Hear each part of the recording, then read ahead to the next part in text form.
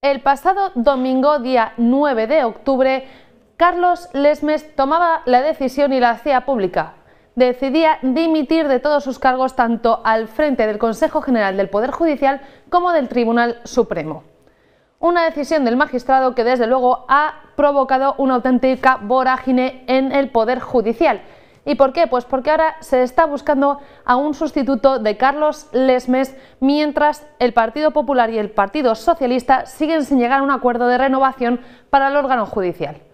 Pues bien, este jueves llegaba el primer momento de conflicto judicial, cuando se nombraba a Rafael Mozo como el nuevo presidente del Consejo General de Poder Judicial, al menos hasta que llegue la renovación. Un nombramiento que no ha pasado desapercibido, ya que Mozo es el vocal más antiguo de todo el grupo de vocales del Consejo General de Poder Judicial y cuenta con parte de los apoyos de los vocales para hacerse con el puesto de la presidencia.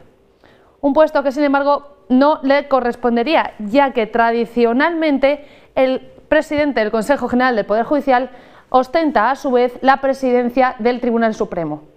una presidencia del Supremo que recae actualmente sobre Francisco Marín, quien hasta ahora era el vicepresidente del Alto Tribunal y por tanto el sucesor natural de Carlos Lesmes.